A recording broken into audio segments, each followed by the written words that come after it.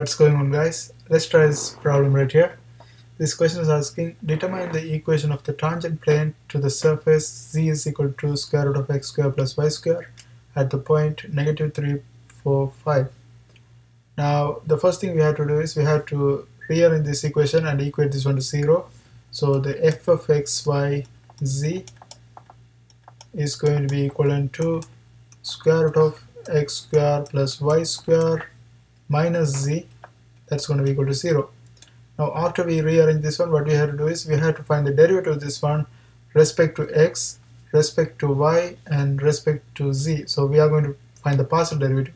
Partial derivative respect to x, partial derivative respect to y and partial derivative respect to z. Now let's go ahead and do that. So f of x, partial derivative respect to x. When we take the derivative respect to x, we treat y and z as a constant but before we do that we better write this one like it's better to write this one in terms of power half right? X y and z is equal to x square plus y square power half minus z is equal to 0 now let's go ahead and find the partial derivative. F of x is going to be equivalent to here we are going to choose the use the chain rule half time x square plus y square negative half times the inside derivative it's going to apply only for the x value. Since we are taking the partial derivative with respect to x it's going to be only x value. Other other one is going to be 0 right? So we multiply this one by 2x and uh, that's if we simplify this one that's going to give us x over negative half mean 1 over square root of this value.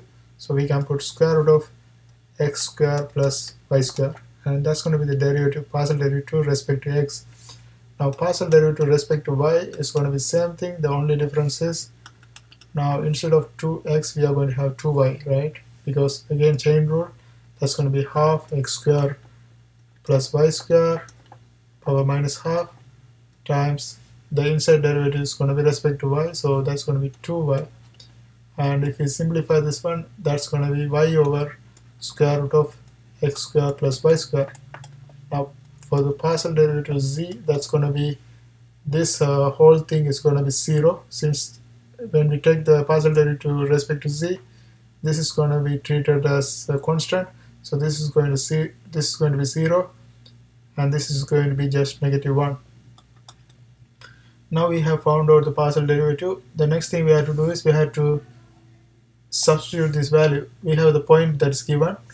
So f of x in this point negative 3 4 5 and here negative 3 is x value 4 is y value 5 is z value.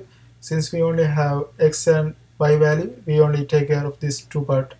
So negative 3 is x value divided by square root of negative 3 square plus 4 square and let's simplify this one. So this is going to be negative 3 and in the square root we are going to have 9 plus 16 and that's going to be square root of 25 square root of 25 is going to be equal to 5 so this is going to be negative 3 over 5 and then let's go ahead and do for this one.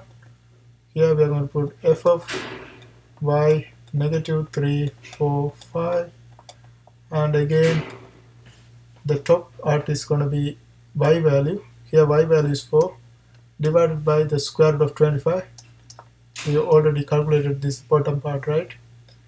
And this is going to be 4 over 5 and fz value is already in the number so we don't have to calculate that one. We have f of x f of y and f of z. Now we can go ahead and plug it in this equation to find the equation of the tangent plane. Now we have to get rid of this part. We need some space we only need these values. These three values are the important thing.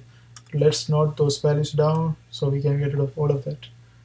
F of x is equal to negative 3 over 5 and f of y is equal to 4 over 5 and f of z is equal to negative 1 right? Now let's get rid of these parts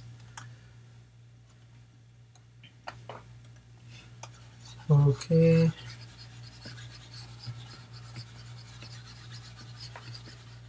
Okay now let's continue this thing. Also we can get rid of this thing too. Right. Okay now let's go ahead and write our equation with like in terms of this. So first f of x that is negative 3 over 5 negative 3 over 5 times x minus x0 is going to be this value the, this x value. That's going to be negative 3 so negative negative 3 that's going to be positive 3 right here. And then plus f of y that is 4 over 5 and then y y minus y minus y0 y minus y0 is going to be this 4 and then plus fz is negative 1 so we can put directly negative 1 right here and then that is multiplied by negative actually z minus z0 z minus z0 is going to be 5 so we put 5 right here that's equal to 0 now let's simplify this one. But before we simplify it's better to multiply everything by 5 in that way we don't have to deal with this denominator. Right so let, let's multiply this one by 5 this one by 5 so if you multiply this side by 5 that's not going to that's still going to be 0 so we don't have to worry about that. This side is going to become negative 3 x because 5 5 cancel right? Negative 3 x plus 3 plus 4 y minus 4 because this 5 cancel. And this is going to become negative 5 z minus 5 and that is equal to 0 now we can simplify. So this is going to be negative 3x minus 9 minus 9 plus 4y minus 16 and then minus 5z plus 25 is equal to 0 now let's uh, rearrange, rearrange this one. Like we have to bring the number to the other side of the equation.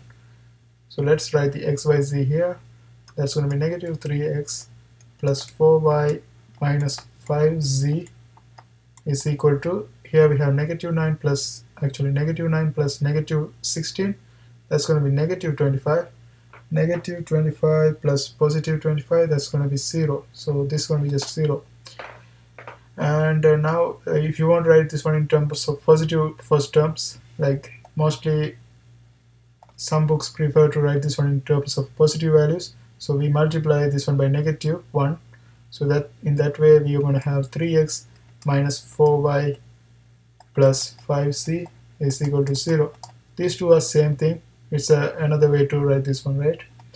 And that's going to be our final answer. That's going to be the equation of the tangent plane. And that's how we do this kind of problems. I hope you guys find this video helpful. See you next time